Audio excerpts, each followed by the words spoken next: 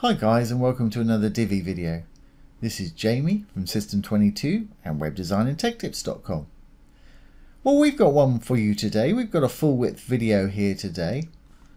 It's playing automatically and it's muted and if we roll down viewers have got the controls on the bottom they can unmute it or pause it do whatever they want and we've got a bit of text over the middle here when we hover over it, there's a little hand icon so we can add a URL and take our visitors wherever we want to.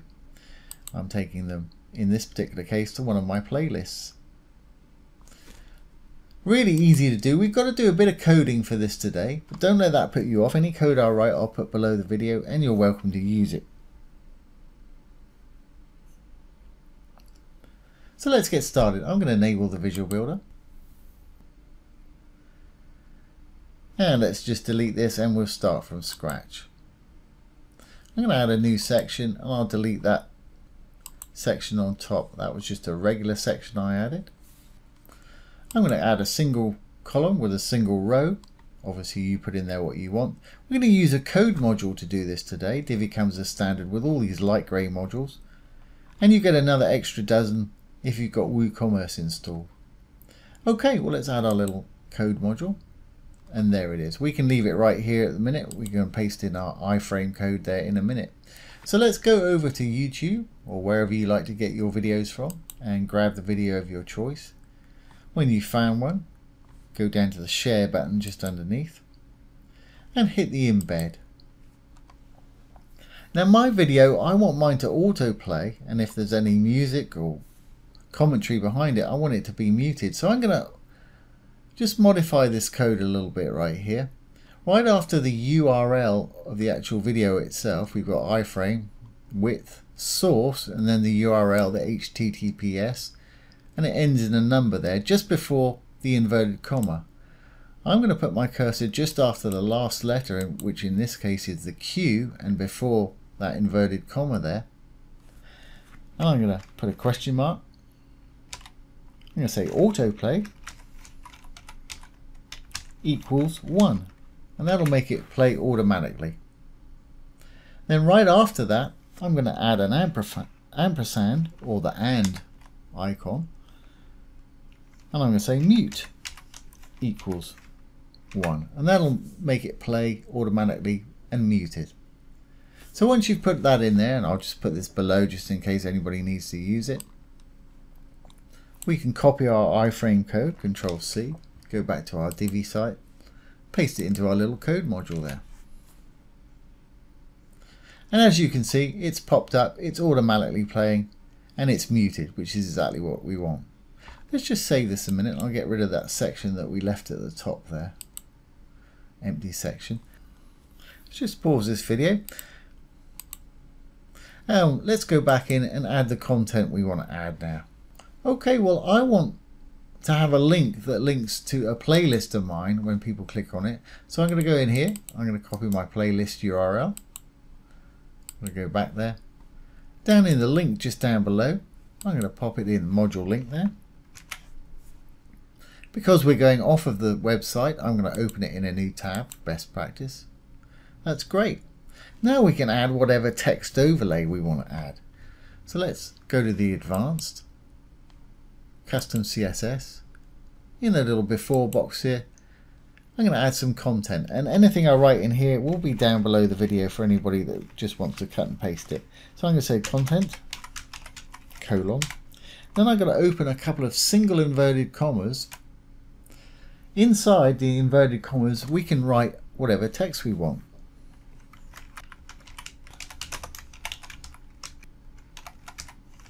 Whatever you want to say in there. Okay, let's just add a little semicolon so we can add another line of text. And as you can see, it's added it up the top there. We want it to be in the middle of our video. So let's do it with a bit of positioning. So I'm going to say position, absolute, because it wants to stay absolutely where we put it within our little module there. And I want it halfway down, halfway along. So I'm going to say top, 50%. And I want it halfway along, so I'm going to say left 50%. Now, you may have noticed, or you may have not noticed, that you can't see it. It should be kind of in the middle here.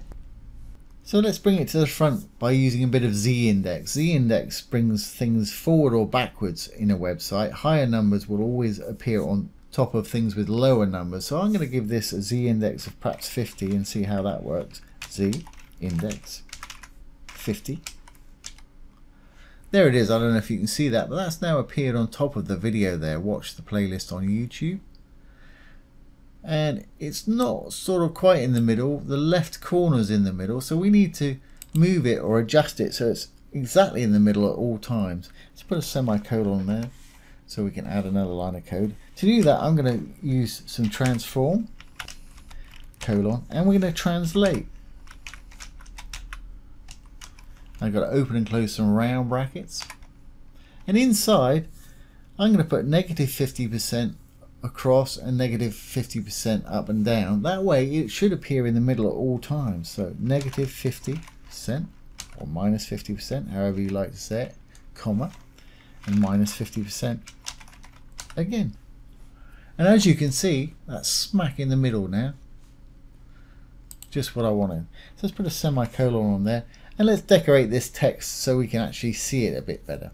First thing I want to do is make it a bit bigger, so we'll say font size. make it say 40 pixels. There we go.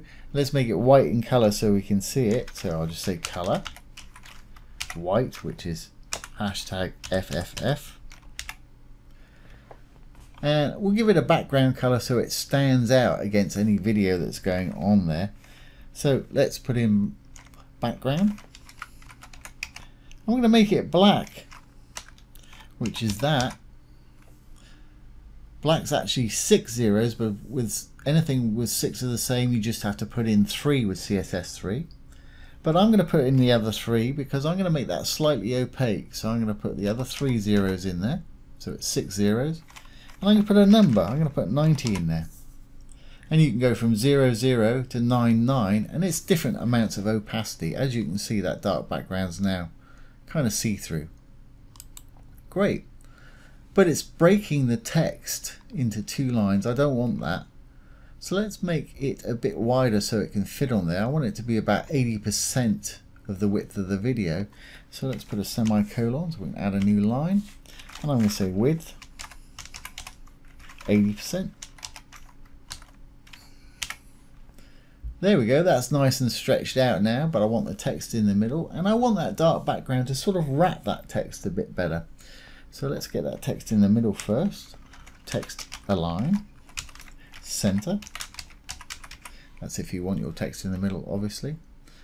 And we'll drop down and we'll say for the background, I just need to add some padding all round of say 50 pixels should do it. So let's say just padding. If I just put in one value, it'll do top, right, bottom and left all at once, 50 pixels.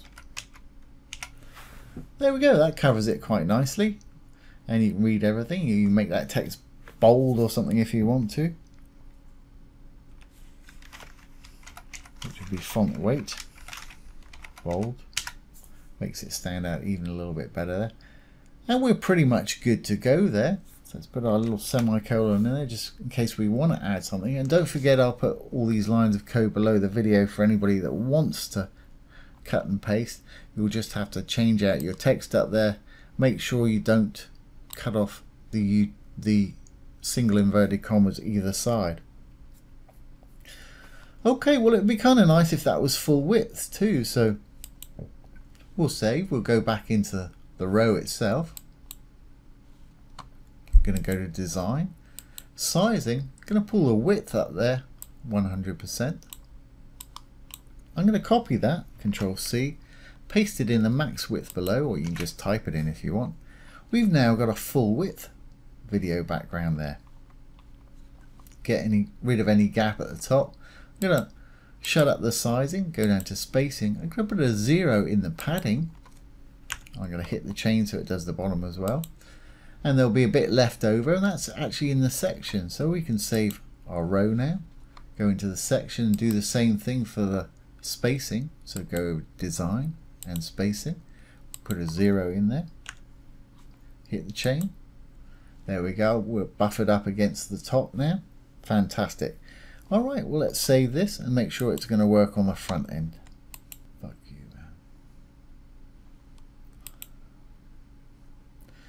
man. And let's exit the Visual Builder. And there we go. Our video's playing. There's no sound on the video.